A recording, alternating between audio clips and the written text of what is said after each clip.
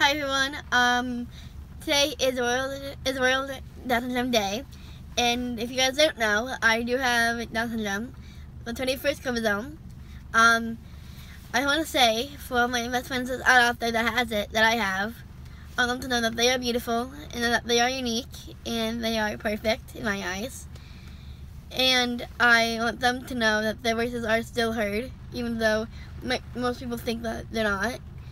They are voices of ours, our voices matter. I feel like when, however we sound, we sound differently when we speak, or we look younger than we actually do. We behave differently, but it doesn't stop us from doing the things we love doing. I have a bad tendency of speaking super fast, but that doesn't stop me from doing the things I love doing.